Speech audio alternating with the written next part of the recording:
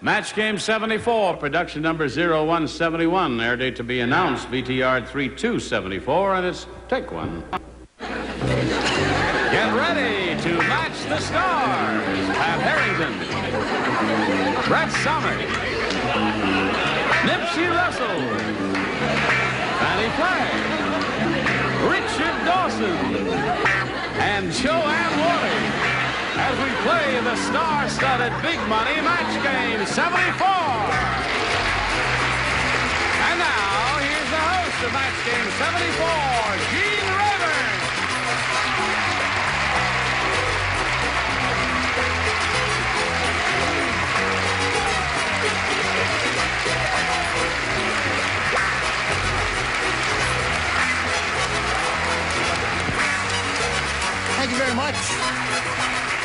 You got them all riled up, Johnny Olson? They look like a good bunch. Thank you for joining us here on Match Game 74. And a special thanks to you, celebrated cuckoo birds. riled down. yes. Nice to have you back in, Pat. What have you been up to? Well, I just finished a movie, a movie of the week over at uh, Warner Brothers. Good. Signed by The name? surprise. It's called uh, The Healers, uh, starring uh, John Forsythe. Forsythe? Written by John Furia. I didn't even know he switched. Listen, Jo- Jo Anne, now you've, let's see, you're making a movie and you're uh-huh. also going to play in Florida with your friend. Yes, with Roger and I Yeah. are, are going to be in Jacksonville, Florida in April Yeah. at the Thunderbird doing Lovers and Other Strangers. Marvelous play. Well, I That's thought this you were just going to go to Yeah. play. Good. And just did a movie called Horace and Fred. Horace and Fred. Guess which one I play?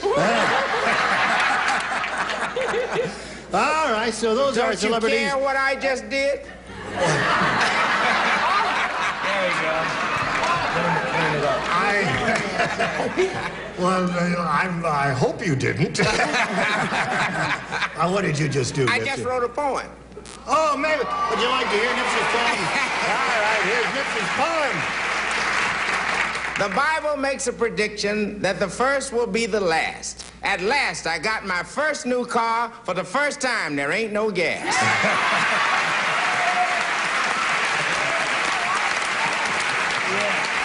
Very good, Nipsey. Okay, now let's uh, welcome our two players here, shall we? Kathy Coons and Kathleen Ellis. Hello, ladies. This lady is a big winner. You know, she's got $11,900 to it. Uh, how about that? Are you happy about that? You got plans for your money? What are you going to do with your money? We're having a house built. Oh, no kidding.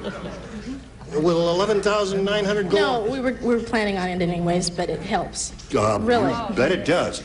Now, would you tell us a little bit about yourself, Kathy Coons? This is, uh, you're going to challenge her, right? We're going to start right from the top. Yeah, I'm from Iowa. Yep. And I'm married to a farmer. Yeah? And I have a little girl, too. And I'm just a housewife. And where do you live? In Iowa? right in Iowa. Yeah, in around the Cedar Rapids area. Well, it's nice to have you with us. Good luck to you, and good luck to you. We'll begin right after this message for you. okay. Let's begin. Oh, boy, you'll never know. Uh, here we go. Kathy Coons, we ask you to make a selection here as the challenger. B, please. She wants B. We ask you to do that because some contestants find some questions harder than others, although we try to make them an equal degree of difficulty. Are you ready? Yes. We are ready. Here we go. There wasn't much food in the Garden of Eden, so Eve ate Adam's blank.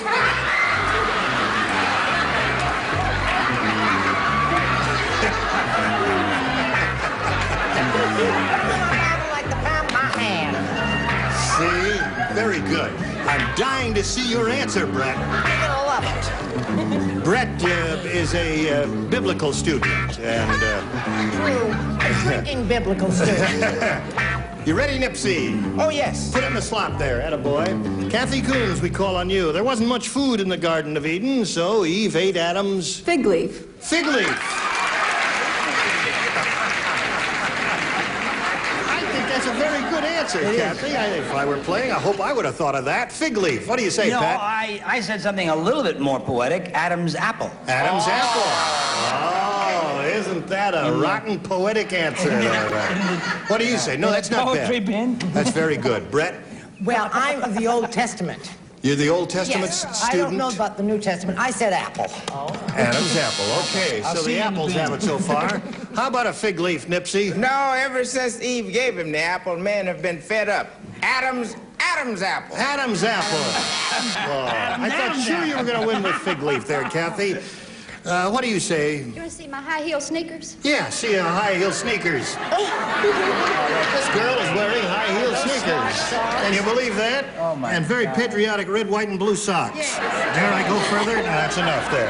You can referee my Now show bedroom us your anytime. blank there, if you Show would, please. my blank. Yeah. Yes, I said fig leaf. Fig leaf. There's a match. Okay. Yeah. What do you say, Richard? Take out your... Sir Richard. I'm just very surprised that all those cuckoos said apple. Really? We all know it's a pear, but I wrote fig leaf. Fig leaf. Jo Anne, what do you say? Well, actually, the only thing on him that is edible would be the fig leaf. Okay. So there you go. You go to your You got the lower three, and the, I mean, it was three fig leaves and three apples. And uh, now let's see what we've got for Anybody Kathleen for here. four pears? Okay. the old farmer called the police station and yelled, I want to report that a Martian just blanked my cow. He didn't. Yep. old farmer did that. You're nodding your head there, lady. You don't believe what the, the old farmer yelled at, do you? There? That's what he yelled. Look how quick I am I want to report that a Martian just blanked my cow. Okay, all set here. Are we? Okay. Oh, yeah. Now, Kathleen, we call on you. The old farmer called the police station and yelled, I want to report that a Martian just blanked my cow. Just rode my cow. Rode my cow. Oh, It's a heartwarming experience, isn't it? When you think hard and rack your brain, you come up with an answer and they say, yeah.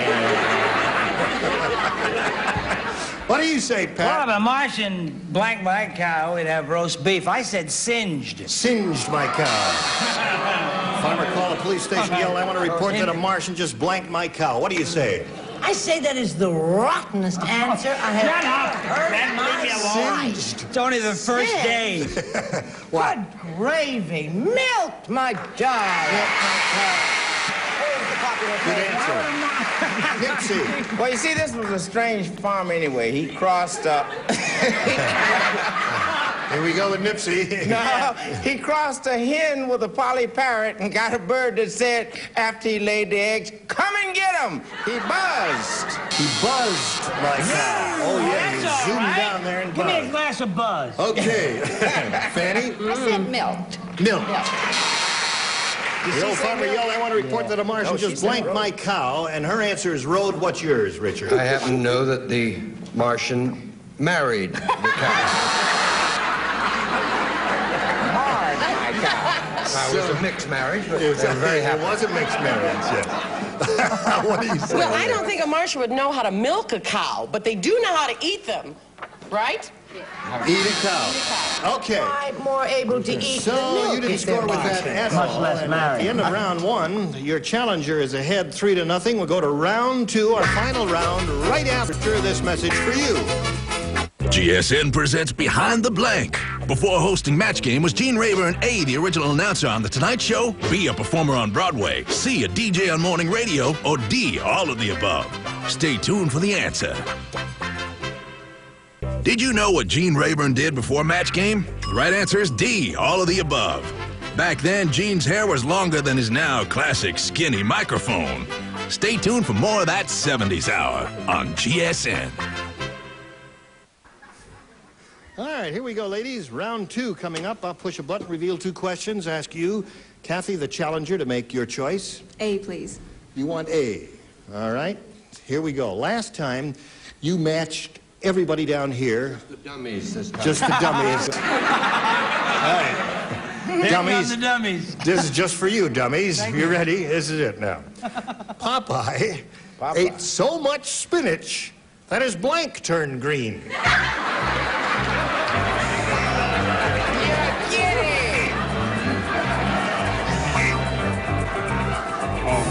One out there really hysterical.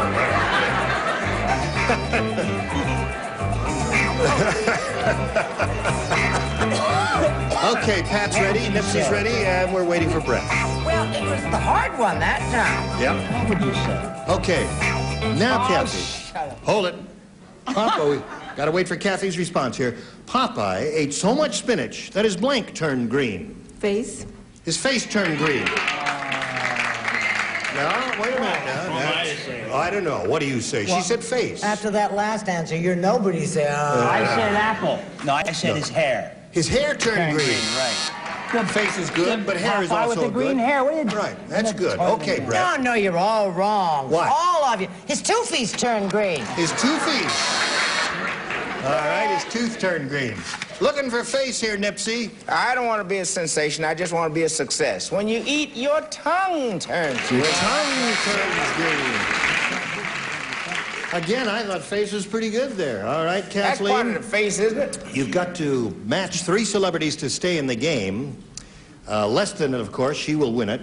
More than three, and you will win it. Here we go. That was kind of laborious. Yes. that explanation. Well, I just wanted to lay out all possibilities. Oh, Selma okay. said. You don't. Selma. Selma said, no more dates with Irving. I don't mind that he works in a delicatessen, but instead of hair tonic, he rubs blank in his hair. Yeah. No more dates with Irving. I don't mind that he works in a delicatessen, but instead of hair tonic, he rubs blank in his hair. Ouch. Everybody plays. Oh, take off.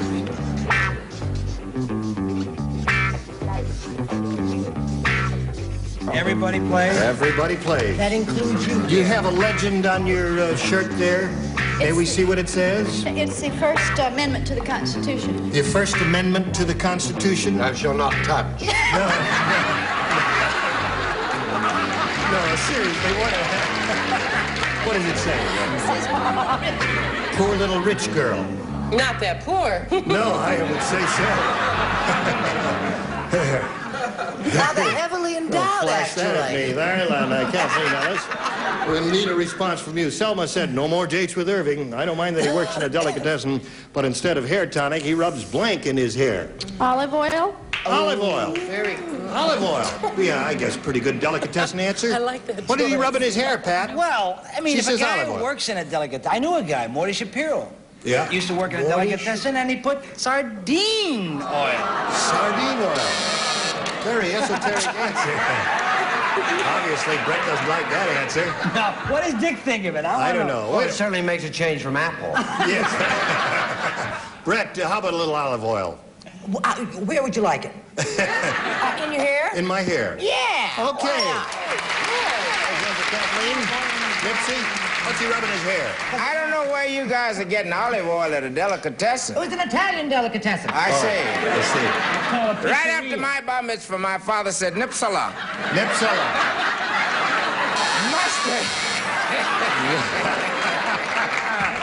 A little mustard in the hair. huh? what did he rub in his hair? Bar I don't mind, but instead of hair tonic, he rubs blank in his hair. What do you say? I said salami. Salami. Gotta match like the two like remaining celebrities to stay in the contest, Kathleen. Sir Richard. Well, Nipsey was right. He certainly did have the right delicatessen. It was a kosher delicatessen. He rubbed chicken fat in it. Chicken fat, no match there. So Kathy Coons is the winner. Congratulations. There's $100 for you. Stand by for a moment. Well, Kathleen, that's very gracious of you to applaud the winner. You're a good sport, a good loser, but you're not going to leave here with a heavy heart, are you? No. Because you're leaving here with a heavy purse. $11,900 worth. Many thanks, Kathleen Ellis. You were just terrific. Goodbye, Kathleen. We'll get back to this lady in a moment or so. First, we've got a little message for you, and here it is.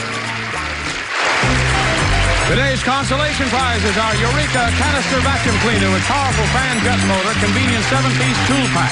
This Eureka cleans everything from rugs to curtains.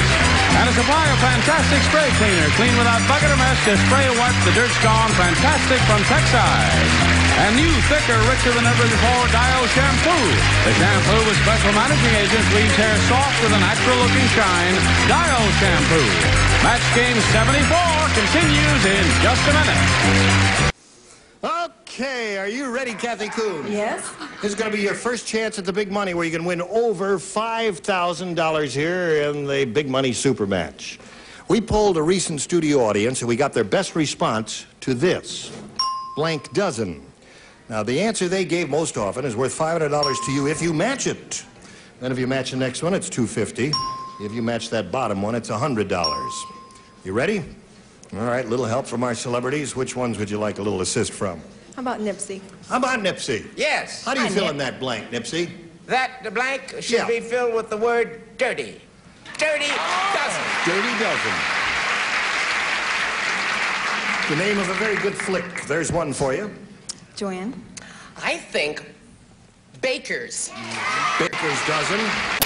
Two. One more. Richard? Richard. What this panel is, a half dozen. A half dozen. Okay. So you've got half dozen, baker's dozen, and dirty dozen. Now you may choose one of those answers as the Yeah. answer, or give us one of your own, but we call for an answer and a response from you now. Um, Dirty Dozen. You say dirty dozen. By choosing that, she's saying that Dirty Dozen is under the $500 response. We're going to find out where it is, if indeed it is at all up there. First, may we see the $100 response?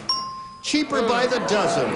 A marvelous book and a movie of some years ago. Okay, we're still looking for Dirty Dozen. Here is the $250 response. Dirty Dozen, you got it, Kathy. Congratulations. What do you think is up there under the five? Daily. Daily Daily dozen? All everything? One. One Say dozen. Bailey, Bill Bailey. Baker's dozen or one dozen? Here is the $500 response. Even dozen. Baker's dozen. Baker's dozen was the answer Jo Anne gave. Bet with Brett. Yeah, anyway. Brett with Brett. You've got the $250. That means you'll be playing for 10 times that amount now, or $2,500. Now, to collect, you've got to match one celebrity head to head. Please choose one now. Um, how about Richard? How about Richard? Now, this will have to be an exact match. You face me, and he will write his response to this, sir.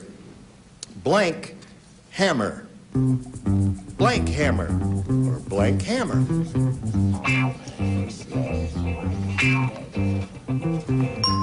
Okay, he's finished with his response. Now we need an answer from you, Kathy. How do you fill in that blank? Blank hammer. Um, oh dear. Um, Blank hammer. blank hammer. Um, nails and hammer. I can't think of anything. You, you drew a blank on that. blank, you drew a blank on the blank. So you say nails and hammer? yeah. I can't think of anything. All right. Okay, Richard, for $2,500, may we see your answer, please? Well, remember, I did give you a half dozen. I had sledgehammer. Sledgehammer is a good one. Couldn't think of sledgehammer? No? That's so funny. This is a strange game. Every once in a while, when you're playing this game, you draw a blank, as she just did now. I know when I play it, it happens to me. Occasionally, it'll happen to one of the celebrities. And boy, when your mind goes blank, there's nothing, you can, do. about Isn't it. it You funny just- how it never happens to me, Jim? That's because she's blank most of the time. It's got nothing to go blank to. You've got $350. You're still a champ, and you're going to meet another uh, challenger now and play another game. You ready for that? sir? just Okay, let's blank again. welcome Susan Alt. Hello, Susan. You ladies know each other. Susan Alch may look familiar to some of you who uh, were tuned in yesterday, and that's because she is familiar to you. you she was here yesterday, and uh, in one of her opponent's questions, we matched the words plucked and cleaned in response to a question. And uh, we shouldn't have matched those. No, flip. And it caused her clean. opponent to win. And we thought it was a little bit unfair to Susan, so in fairness to her, we're bringing her back and having another go at it. Okay? So, Susan, I'll push the button here and reveal two questions and ask you, the challenger, to make a selection. Well, I'll stick with my kids. Take A for Alch. A for Alch. Okay, here we go. Elvis said, My fans are driving me crazy. Last night, this girl made me autograph her blank. My fans are driving me crazy. Last night, this girl made me autograph her blank. Brett, is the first one finished? I just wanted to make notice that. Okay, Jo Anne's finished, and now Susan. My fans are driving me crazy. Last night, this girl made me autograph her Bra. her bra. Okay. No wonder he sings so funny. Pat, what do you say? Oh, I'm nowhere near, bro. I was thinking of the closest thing to him would be arm. Arm. Maybe autograph his Okay. arm. Brett, bra's the answer she's looking for. I don't know how to spell it, but I think it spells thigh. Thigh. All right. Nipsey. they booed you. What do you say? You're always giving decisions. Deci- Right. There's a match for you, Susan. How about you, Fannie? Well, I happen to know that Brett was the girl that asked, and she said body. Body. She was the one looking for Elvis's autograph. You got to be an awfully big writer. Well, he has that's two names. Elvis Presley. If he'd had a middle name, he could not have written it on the brow. That's right. Okay. So there's two for you and Jo Anne. I didn't think that his fans wore them, but that's what I put too. Okay. So it's three to nothing. You did very well with your first question, and uh, we've got one for you too. But first, we've got this for you. We will pick up at this exact point when we get together next time. Three to nothing score, middle of round one. Ladies, look forward to seeing you next time. And you two, you were just terrific, Why not? weren't you? How about Yes. we? Applaud How about we yourselves. three? You were terrific. I thought you were just splendid. We'll look forward to seeing all of your beautiful bodies. Gene Rayburn, Match Game 74. Join us next time. Johnny Olson speaking for Match Game 74. A Mark Goodson, Bill Todman production. Stay tuned for Tattletales next over most of the CBS stations.